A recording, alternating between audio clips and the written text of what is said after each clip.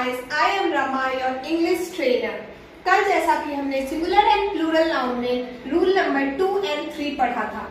आज उसी का रूल नंबर फोर कंटिन्यू करते हैं। जैसा कि सिंगुलर नाउन में अगर आपका कोई भी वर्ड एंड हो रहा है वाई से, ठीक है? और उसमें वाई के पहले अगर आपके कोई वॉवेल है, ठीक है?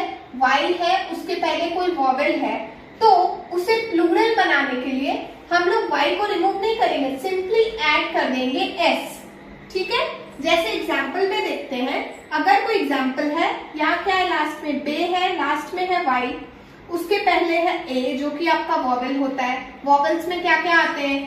ए ई आई ओ यू ये सारे हमारे वॉवल्स हैं और इसे छोड़ के जो भी लेटर्स बचते हैं, वो हमारे कॉन्सोनेंट्स हैं। वाई के पहले कोई वॉवेल आता है ठीक है? तो इसमें हम लोग सिंपली ऐड करेंगे एस तो बे है तो क्या हो जाएगा? Bays tray trays toy toys rule number five जब भी सिंगुलर नाउन में अगर आपका कोई भी वर्ड एंड हो रहा है वाई से, ठीक है? तो उसे और उसके पहले ठीक है?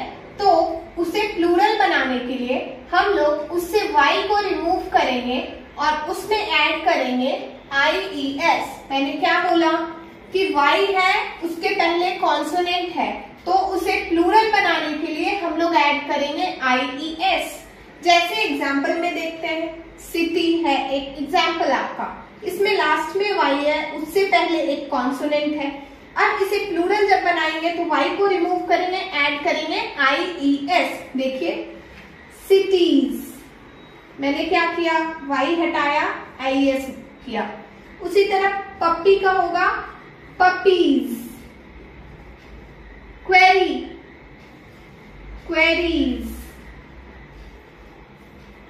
इसी तरह और भी एग्जाम्पल्स होंगे तो आपका ये रूल वाई वाले में फॉलो करेगा।